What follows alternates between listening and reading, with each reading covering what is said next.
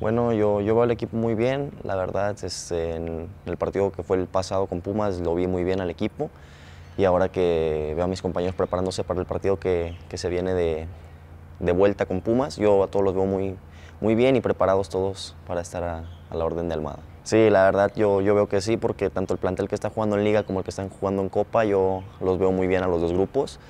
Este, veo a mis compañeros que eso es lo que hace la competi competitividad en el, en el equipo y que están los dos grupos muy bien.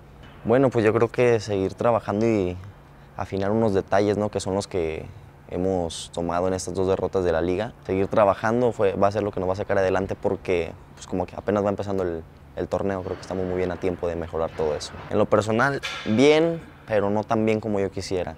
Este, creo que tuve un buen partido con León, igual con Tijuana no me sentí muy mal a pesar del resultado.